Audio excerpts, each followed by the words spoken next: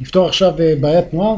אפשר לומר שהבעיה הזו מתאימה להתחלה, כלומר למי שבכיתה י"א מתכונן לבגרות או התחיל ללמוד בעיות תנועה, או לתלמידים מכיתה ט'. אה, אוטובוס נוסע מדי יום דרך של 120 קילומטר במהירות מסוימת כדי להגיע בזמן ליעדו. יום אחד הקטין האוטובוס את מהירותו ב-20 אחוז ולכן הגיע ליעדו באיחור של 20 דקות. מצא את מהירותו הרגילה של האוטובוס. אז הוא נוסע מעיר A לעיר B במהירות מסוימת, מרחק של 120 קילומטר. ואז אומרים לנו יום אחד, אז יש את הדברים האלה, כאילו שיש תכנון ויש בפועל. יש תכנון ויש בפועל. בואו נראה. ברגיל, הוא תכנן לנסוע במהירות X, לא ידועה, והדרך ידועה לנו, 120 קילומטר. ולכן ברגע שיש לי שתי עמודות אני סוגר את השלישית. דרך חלקי מהירות שווה לזמן, 120 חלקי X. את הדרך הזו ברגיל הוא עושה במשך 120 חלקי X אה, שעות. ואז נראה מה קרה באותו יום. יום אחד הקטין האוטובוס את מהירותו ב-20%. מה זה להקטין מהירות ב-20%? הייתה לו מהירות X והוא מוריד ממנה 20%. לא ככה עושים 20%. 20% זה תמיד 20% ממשהו. הוא רוצה להוריד 20% מ-X. זה נקרא 20% מ-X. והוא רוצה להוריד מהמהירות 20%. אז זה הביטוי. אבל את זה אנחנו לא נכניס לטבלה, אלא נטפל בזה. 20 חלקי 100 זה 0.2, מינוס 0.2x, וזה יוצא 0.8x. עם זה אנחנו נלך לטבלה. המהירות שלו באותו יום 0.8x. האם הדרך השתנתה? לא השתנתה. הדרך היא 120. לכן מה הזמן?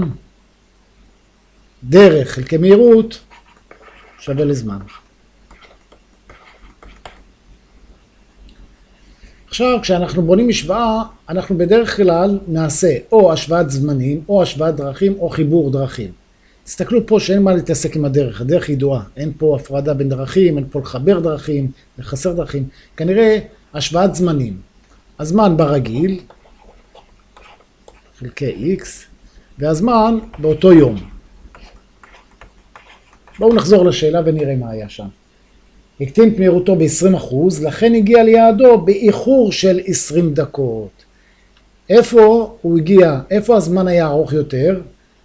באותו יום שהוא הוריד את המהירות, הזמן שלו היה יותר גדול, הוא הגיע באיחור, הזמן שלו היה יותר גדול פה, ביום השני. כדי שיהיה שוויון אני צריך להוסיף לקטן, ולא לגדול. זה, הזמן הזה הגיע באיחור, הוא יותר גדול מהזמן של הרגיל. צריך להוסיף לזה. כמה נוסיף לו? לא להוסיף 20 דקות. אנחנו מדברים בשעות וקילומטרים וקמ"שים, ולכן נהפוך את הזמן, את הדקות לשעות, על ידי 20 לחלק ל-60. בסדר? מחלקים את הדקות ל-60 דקות, מקבלים. זה שתי שישיות, שתי שישיות, אם אני אצמצם זה שליש. עכשיו שימו לב, כדי לא להסתבך עם הדבר הזה, לא, לא זה מסובך, אפשר לכפול את המשוואה ב-0.8x. אבל תתרגלו לזה ש-120 חלקי 0.8, אני אקח את המחשבון ואעשה 120 לחלק ל-0.8. זה יוצא לי 150. אז בעצם המשוואה הזו היא 120 חלקי x, ועוד 1 חלקי 3 שווה, זה 150 לחלק ל-x, ולא צריך את ה-0.8. עשיתי 120 לחלק ל-0.8, קיבלתי 150. נכפול במכנה המשותף, נכפול ב-3 בשביל ה-3, נכפול ב-x בשביל ה-x'ים, ובואו נראה. כל אחד יכפול במה שאין לו. זה יהיה כפול 3, זה יהיה כפול x כי אין לו x, וזה יהיה כפול 3. 3 כפול 120 זה 360. ועוד, x כפול 1 זה x, 3 כפול 150 זה 450. נעביר לצד השני, 450 פחות 360, נקבל שזה 90. x שווה 90. נחזור לשאלה ונראה מה רצו. מצא את מהירותו הרגילה של האוטובוס. המהירות הרגילה של האוטובוס זה x, סימנו אותה ב-x, המהירות שלו היא 90 קמ"ש, בסדר? לרשום את היחידות. זה הכל, זה ההסבר לשאלה הזו. אתם מוזמנים להיכנס לאתר קיבילימטיקה לצפות בעוד פתרונות מספרי הלימוד. ביי ביי, להתראות.